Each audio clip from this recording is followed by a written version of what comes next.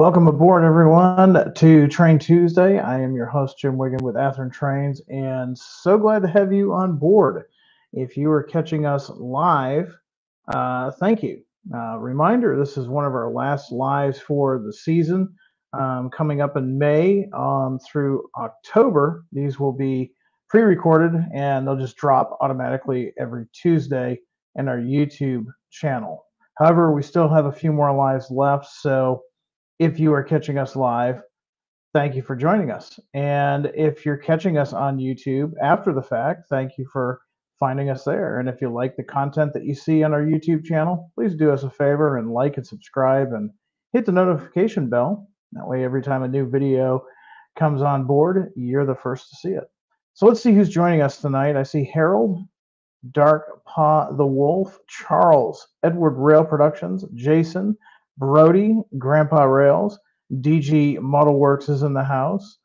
Ian Frost, Anthony, Roger, Alco Steam, Mark, Are You a Train Man Too, David, Charles, Ronald, and Alex, just to name a few. So we're going to talk about one scale tonight. It's going to be HO scale. So sorry, N scale guys. Um, your your day will come. But we're going to be talking HO scale. But we're going to be talking from Athearn Genesis, Athearn and then Athearn Roundhouse. So all of our three major brands are represented here on this program. We're going to be talking locomotives and freight cars. And they're pretty much from all kinds of different eras. We're going to talk about modern first, and we're going to talk about the per diem era, 1970s into the 80s. And then we're going to finish up the program with Roundhouse, talking about how grain was moved before covered hoppers.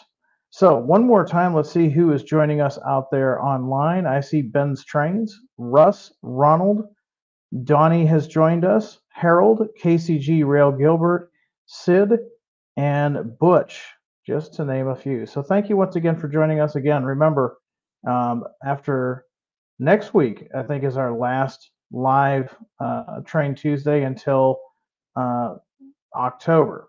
So get online and say hi while you can. Now, keep in mind too, we are going to be doing the uh, um, Athearn extras. Those will always be live, so there'll still be an opportunity for you to interact with us at Athearn. So let's get started. We're going to start talking about the Dash 9s first tonight. And I'm using this example here as one that we released previously because the details are generally the same, but it's always good to have an actual picture of the model um, to represent what we're going to be showing. Now, a little bit of insider information on this. We technically announced these Arizona and California locomotives back in December of 2023. However, as we were going to print with the packet that your dealer gets, some new information had surfaced, and we quickly tried to get some artwork done to represent uh, what we had found out, but we just didn't have enough time to get it out there. So rather than just drop those locomotives, we've extended the pre order window on these locomotives. So technically, not a new announcement. However, um, you're going to put it in the forefront of your mind so that you can pre order these before Friday, April 26th, and this new artwork is going to be included. So let's go ahead and check out what we're talking about. So the Arizona and California acquired several former BNSF Dash 9s back in 2022, the most powerful units on their roster. So therefore, Arizona and California numbered them in the 4400 series to reflect this. Now, painted for the Arizona and California, originally announced in December 2023, we are now extending the pre-order on these models that you see here, now with updated artwork. And let's talk about this. And you'll see why we kind of had to extend this because we had to a get the additional um, research done to put the uh, logos and other artwork associated with these locomotives on, and also since they um, some of them are Operation Lifesaver, that did require some licensing. So the first locomotives that you see here, these are both former BNSF locomotives. The first one that you see at the top of your screen is Arizona and California number 4400. Now, this is former BNSF 4534. You'll notice that while it does have the Genesee and Wyoming corporate paint scheme, it doesn't have any heralds. It still has its large dome antenna. Exhaust stack cover is still installed. That's about it. And this is how we originally saw these units when our product developers were doing the research on them. Likewise, 4403, this is BNSF or former BNSF 4527. It too has the corporate paint scheme, however, no heralds, and it has a large dome antenna. Now, moving to the next two units, things get even more interesting.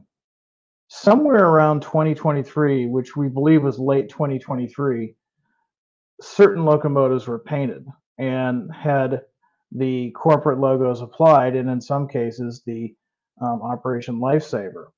If you look at the top of your screen, you'll see Arizona and California 4401. Now, this is former BNSF 4577.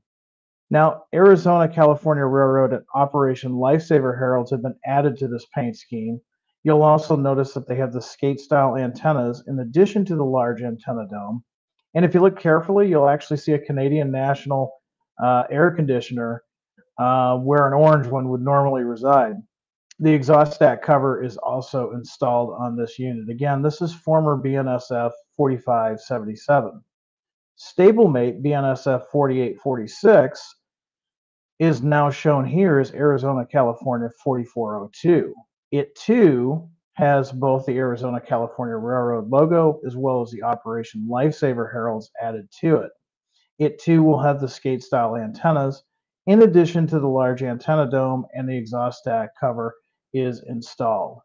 So all four of these units are being offered as they appeared from 2022 to 2023. There's a little bit of elasticity to this era. We believe that most of these locomotives received their logos, like you see here, um, in the later part of 2023. Now, some of the features of these Arizona and California locomotives, again, I'm going to go back to the Southern Pacific locomotive because I think um, for you guys to see the actual details of the model, even though it's a different model, is a little bit more helpful sometimes than just a one-dimensional line art drawing. So these are all, like I was saying, former BNSF units. These were acquired in 2022. Now the details will match the BNSF 4300 series class. They will have PTC antennas, and they are officially licensed by Operation Lifesaver. So a couple of important things to remember there. The details are pretty much going to match the original BNSF ownership. And in 2022, they would roam their territory with or without those logos, depending on what you see here. And then later in 2023, not only would they inherit their corporate logos, but they would get the Operation Lifesaver logos as well. So again, you've got until Friday, April 26th to place your pre-orders on the Arizona, California. Like I said, we advertised it a little bit back in December, but we didn't have all the artwork, and so a lot of folks probably didn't know exactly what they were pre-ordering. This should help um, solidify any questions you may have. And of course, you can always go to athearn.com to the new announcements tab and download the PDF that's available there. All right, I'm going to take a little bit of time to see if anybody else has some questions on these dash nines before going on to our next item. Um, any questions that have to do with shows or anything like that, feel free to ask those after the end of the program. Right now, I'm just looking for questions on the dash nines. Uh, Let's see. It looks like most people are pretty happy with those. Like I said, we we had these announced back in December, but now we've actually got the updated artwork. So make it a little bit easier to know what you're ordering. All right, so there's the modern day. Let's go to the 1970s.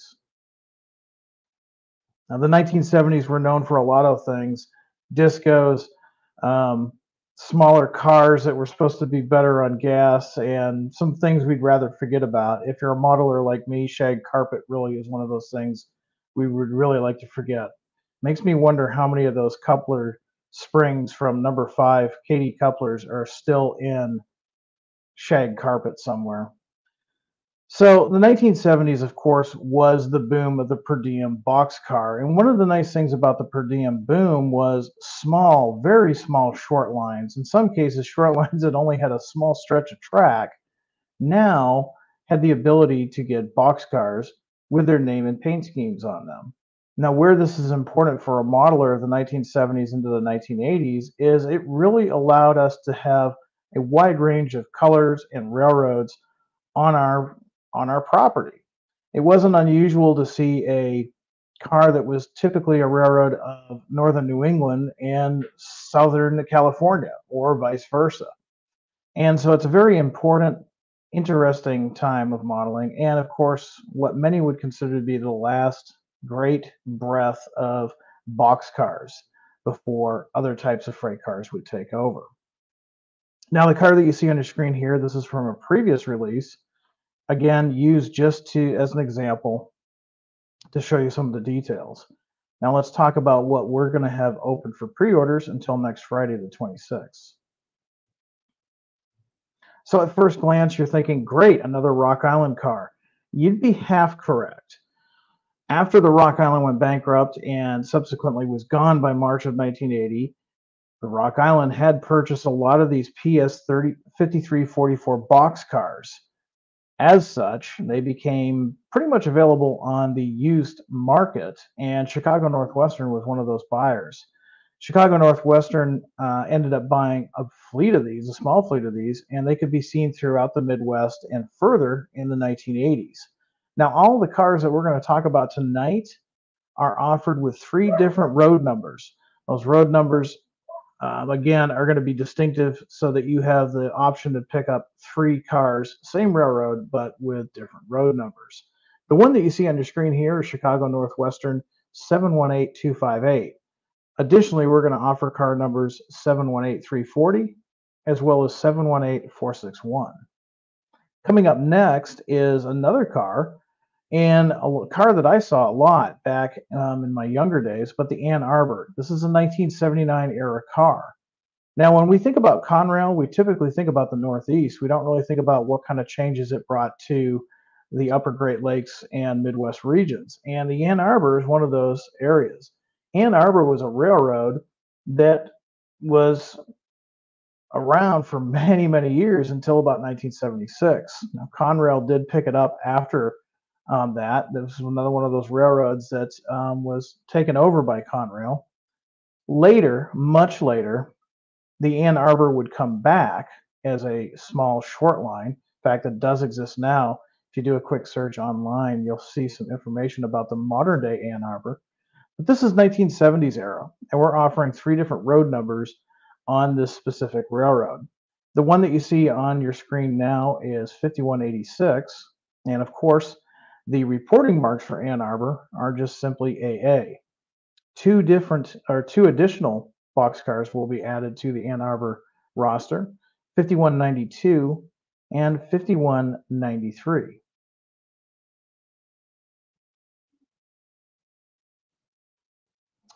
Nineteen seventy eight brings us to the Arkansas, Louisiana, and Mississippi. Again, another very small railroad that took part of the per diem um, boxcar craze of the 1970s. Now, their reporting marks are ALM, and this is car number 1511. Additionally, we'll offer car numbers 1527 and 1560. Next, also in the same era, 1979, is the Corinth and Counce Railway. Now, music lovers will love their reporting marks, as I do, CCR is their reporting marks, and 6713 is the car that you see on your screen here. Additionally, we'll offer car numbers 6727 and 6724.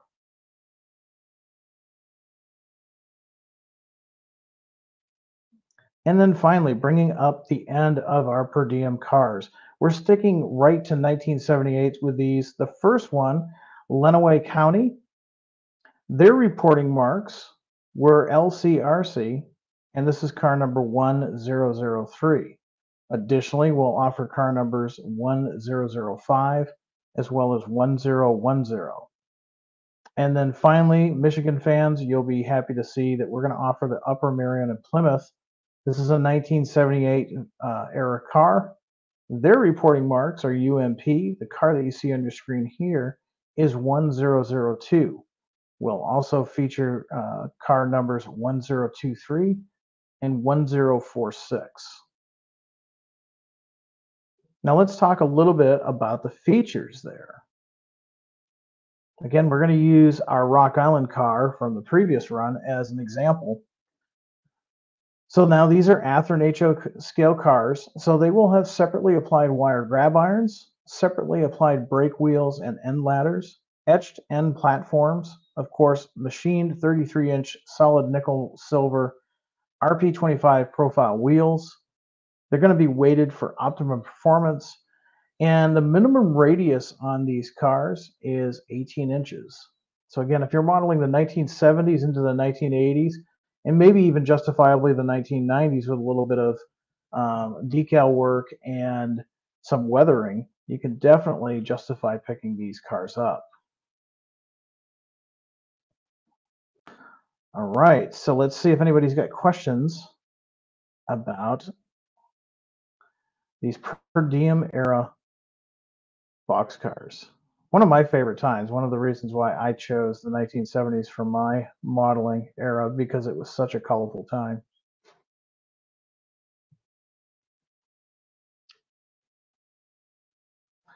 Let's see, requests for new locomotives and boxcars and things of that nature. Um, remember that we have a product um, suggestion email. That's athearn product suggestions at athearn.com.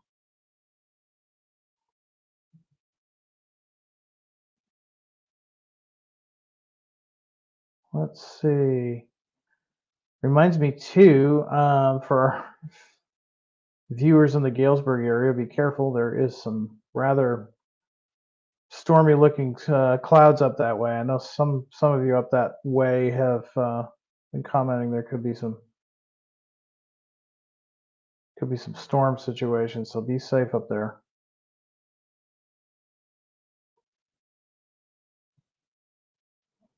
All right, don't see any real questions. I will grab Alco Steam for this. I guess no undecorated. No, not in this run. Now we will offer undecorated cars now and then, but we typically do not run undecorated with every single run. Um, we have not seen the demand to justify that yet. So if we start seeing a, a demand where we're selling a lot more undecorated than we did, say, last year or the year before, we may start adding it. We have started adding some undecorated locomotives and freight cars um, like this month, we're offering undecorated N scale CA11 cabooses. Um, but that is all based on sales.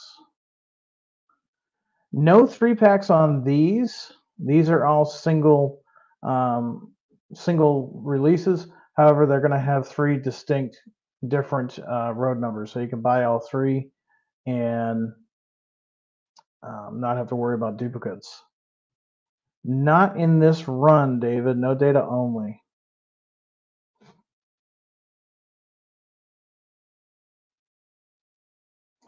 All right. No Penn Central boxcars in this run either, but maybe in a future run. All right, now let's talk about Roundhouse. And a car that we haven't really offered in quite a while. In fact, a very long time. I don't even remember when these were offered last. Um, but these are grain cars, believe it or not. These are Athearn Roundhouse 40 foot grain box cars. Now, box cars were the freight car of choice for grain transportation from the early 1900s until they were replaced by covered hoppers beginning in the 1970s. In the 1950s and 60s, before grain hoppers were used, railroads used 40 foot box cars to haul grain. Many of these 40 foot grain loading boxcars lasted well into the 1980s and 90s, which is pretty interesting. actually not too far from where I'm sitting is the local town grain elevator here in Illinois, and there are pictures down at the uh, office of 40 foot boxcars getting filled with grain. I'm assuming those pictures are probably from the 50s to early 60s since they're black and white. But yes, at one time, uh, many railroads would use their 40 foot boxcars and use them for grain service. And this it's a interesting industry. If you want to read more about it, Kalmbach actually has a book on modeling the grain industry, and they talk about 40 foot boxcars um, in a couple of chapters. So, with that interesting background being said, let's see what we're offering in this run. Now, everything that we're offering in this run is 1960s era. Now, these are roundhouse, so um, since they are roundhouse, they're going to have molded on details. We'll talk a little bit about those details in a moment. So coming up first, we've got Santa Fe. And again, keep in mind, these are all 1960s era. We're offering three different road numbers per railroad. So Santa Fe gets, as you see here, 21845. We're also going to offer two additional cars for the Santa Fe name. That's 21852 and 21857. Likewise, we're also going to offer Union Pacific as seen here. This is car number 113133. Additionally, two other single cars will be offered, 113135 and 113137.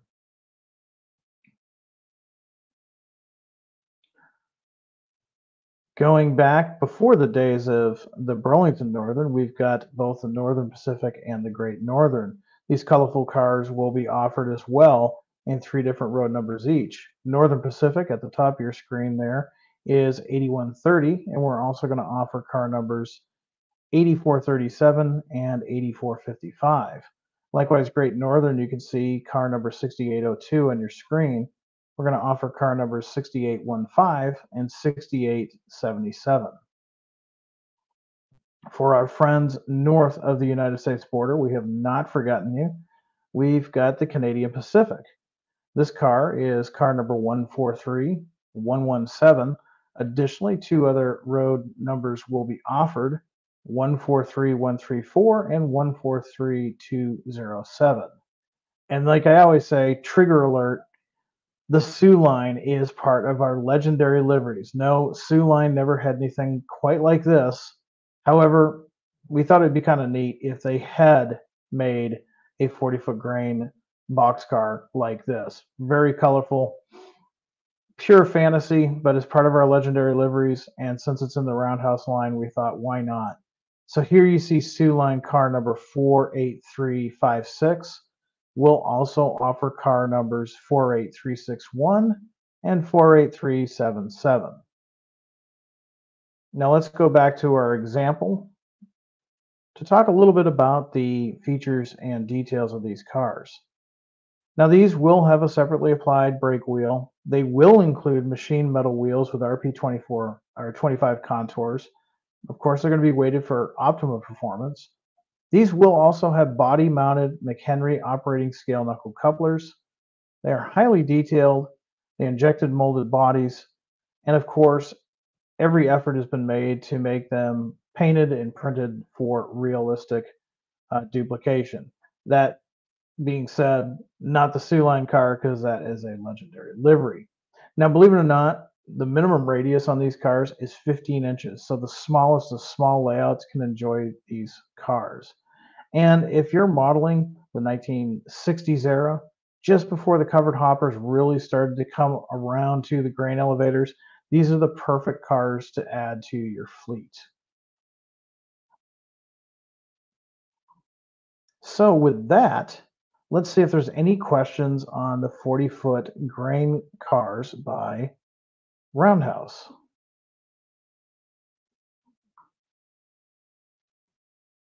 BNSF 9708 says Soo line is cool.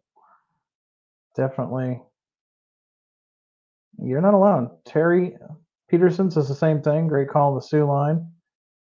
So yeah, they never happened. They, they were not like that um, but kind of neat. Here's some information for um, our friends up north. The last shipments of grain by 40 foot boxcars in Canada were in December 1996. That's pretty cool.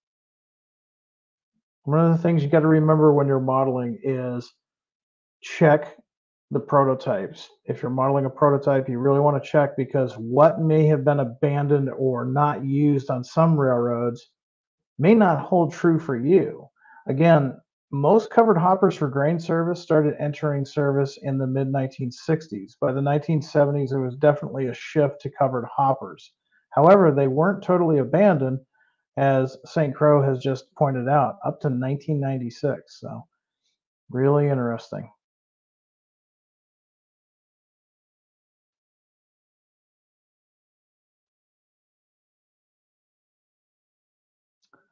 So here's a question for um, our audience. How were the grain cars unloaded? Well, briefly, I am definitely not an expert on this, but from what I've read, what they would normally do, these cars typically would have their sliding doors adjusted or removed, and a piece of material was put on the sides of these cars. It would allow an auger to actually blow the grain inside the um, freight car. When it came time to unload it, it was pretty much a pretty manual intensive labor process. Um, workers at the grain mill or wherever the final destination was simply shoveled that grain out. Um, as you can see, that's why the covered hoppers made such more sense because unloading and loading was so much easier. The manpower wasn't as uh, extensive as it was with these box cars. Split Rock has a great detail as to why these uh, lasted so long. He said so many 40 foot boxcars lived out their last day as grain cars on branch lines where covered hoppers were too heavy. That's a great point. Covered hoppers were heavier than your standard 40 foot boxcars. As such, branch lines and smaller lines with lighter rail couldn't handle that kind of weight. So um, I believe the Milwaukee Road was one of those roads that used these for quite a few years.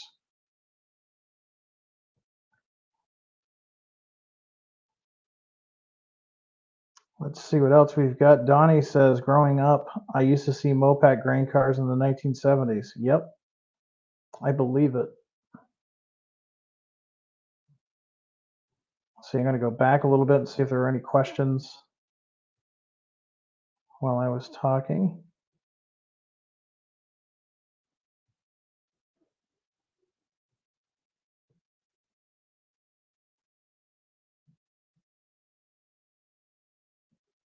Alco Steam with one of the many uh, ways that they could do this. They nailed um, it was basically wood covered with cardboard over the bottom half inch or so, the door opening, then filled the car and shut the doors. Yeah, again, if you look at the Kalmbach book, they actually show you how they did did that. It was pretty interesting process. Loading the cars was a little bit easier if you had the grain auger. Um, getting it to its destination, some cars were retrofitted with bottom uh, opening doors. Um, most, though, however, you know, just open those um, doors up and let the grain fall into the um, uh, the bit that would send it to the auger into the grain elevator, and it was swept out. And as somebody else mentioned, uh, sometimes they would have visitors in there.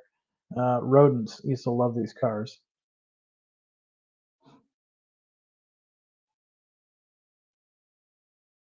All right. Well, with that being said, I'm going to let some uh, time set some time aside for any general questions you have.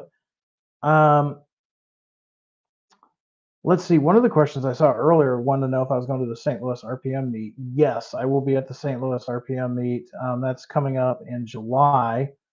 Um, one of the reasons why Athearn Train Tuesdays takes a break from its live schedule throughout the summer is just because a you're busy um, you're probably enjoying the warmer weather, maybe getting some rail fanning in, going to a lot of the train shows. And of course, Athearn is busy. We're going to be doing some shows.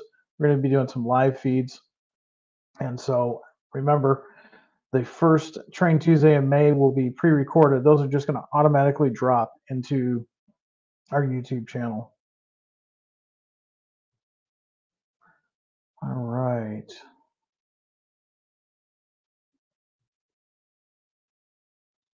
See what other questions we have there. Any updates on the RX 500s? No updates as of the last time we briefly talked about it. Um, I know product development has got a lot of the drawings done. I don't know if they've cut the tooling on that yet, but they are working on going back and forth with our factory, making sure everything works correctly. There's a lot going on in that little tiny locomotive, and uh, so as soon as we have some updates, we'll let you know. No updates on the coil cars that I have as of yet.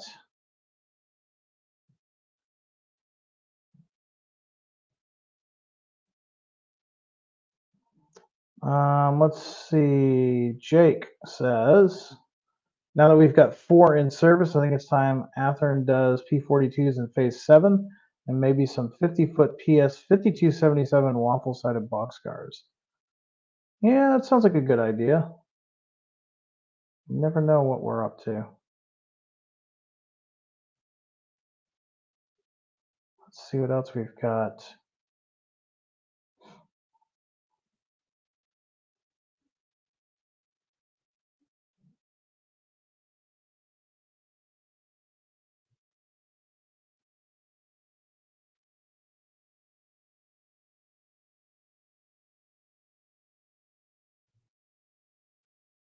Jim, have you guys thought about doing track mobiles? Yes, we have. We have thought about that. Um, currently, we've got enough things on our plate, at least product development does, but it is something that comes up in conversations.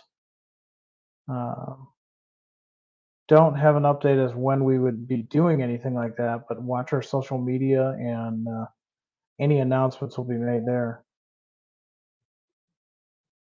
Our goal is to someday be doing some of those tier four GEs um, we've got some other projects in the works right now that we want to get finished up and sent out there. We've got some big releases um, coming up this year. So we want to clear off our plate with those. And then um, looking down the road, yeah, we'll probably go ahead and do those. Benjamin um, helping me out here. Guide to Industry Series, The Model Railroader's Guide to Grain by Jeff Wilson. Great book. If you don't have that book, I highly suggest you purchase it. It's a really great book um, going into great detail about how the grain industry worked and how it continues to work.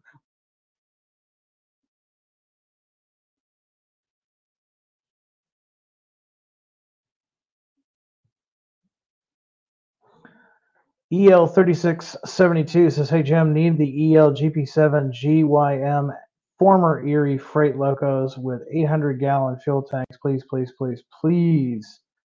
Well, do me a favor. Um, go to our website, go to our contact us tab, and there is a drop down menu for product suggestions, or simply go to Athearn hyphen product suggestions at athearn.com and put your suggestions in there. Now, one thing that I will say, and I continue to repeat because a lot of folks don't hear about it until later, is they think that if you send in an email with a request, that by the next announcement, you're going to get your request. Now, in an ideal world, that would be great. If I was able to go to the Athearn product suggestion email and say, I want a McGinnis GP9 Boston and Maine in prime for grime, that I should get it in the next announcement, but that's not what's going to happen. Basically, what happens with all those suggestions is we look at those suggestions and we see the most popular ones. They're categorized, they're, they're set aside. And so the next time um, model is going to be chosen for um, a re-release, we'll look at it. In this case, we'll say GP9. And if there's enough people like me asking for Prime for Grime McGinnis um, GP9s, then we'll probably do them. So don't think that just because you get that product suggestion email, it guarantees that your locomotive or your model is going to get built. And also, please don't think that you're going to get a response right away. That's pretty much a collection for us. I've had some people complain to me at shows saying that I've used the product suggestion email, but nobody responds to me. And that's because it goes right to product development where it's filed. Our product development guys, trust me, are super busy right now with a bunch of projects. And so they may not always get back to you. So don't be offended if they don't um, strike up a conversation with you. Let's see what other questions we've got, and then I'm going to let you guys get back to some modeling. Any requests? Um, I'm not going to answer those. Those can go right to product uh, product suggestions.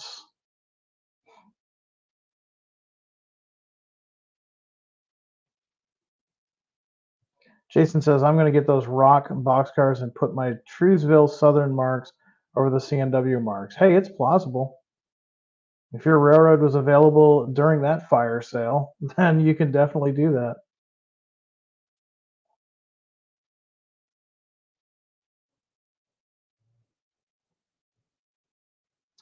Canadian Locomotive Logistics, I believe you and I have had this conversation before. Um, even an automated response would be better than nothing. Understood. Um, we have tried our best, though, to let everybody know that that's not a two way conversation. It's basically a cataloging of what people want. And since we are a business now, I always say that um, Athearn is made up of mainly model railroaders, but you still need to keep in mind that we have to pay for the lights and the bills and everything else. So if one person has one request for a locomotive and it doesn't make the cut over the 700 request for another locomotive, it's simply a matter of business. Um, we will have our web team look into an automated response in the future, but for right now, just keep in mind that that is just a um, catalog All right, one or two more questions, and then I'm going to let you guys get back to it.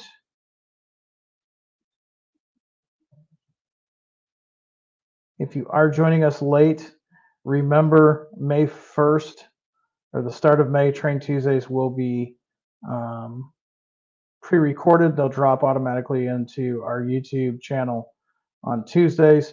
And then back um, going to October, we'll go back to the live sessions. We did that because we've looked at the analytics. There's more viewers in the fall and winter months than the spring and summer months. Plus, um, we've got a lot going on in the background that you may not be aware of.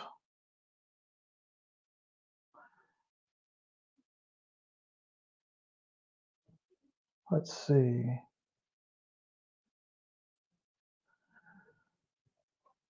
Yep, you are very welcome. Again, if it hadn't been clear before, um, Canadian Lo- Locomotive Logistics, I do believe um, our web team is going to be putting a response in there, just so you know.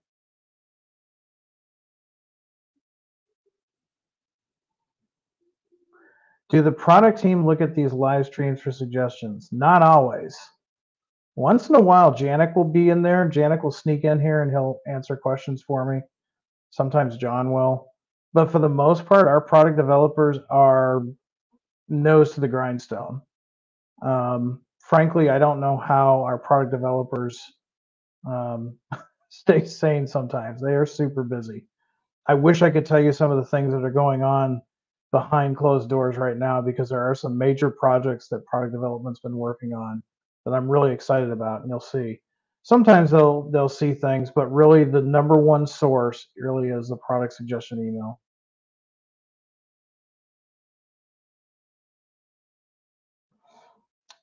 All right. Well, looks good. Looks like everybody's had most of their questions um, answered. Again, everything that I talked about here tonight is available for pre-order through your Athearn dealer. Um, you've got till Friday, April 26th, which it doesn't seem like April's already half over. I'm not sure where this year is going. Um, hopefully, it's going well for you, and hopefully, uh, you're having a great year. Hopefully, you're getting some great modeling done. I know I'm hoping to uh, get some work done on both my N scale and HO scale layouts this year. So until I talk to you next time, which next Tuesday, our last live uh, until October, I want everyone out there to be happy, be healthy, be safe, do some good modeling, and above all, high greens. Take care, everyone.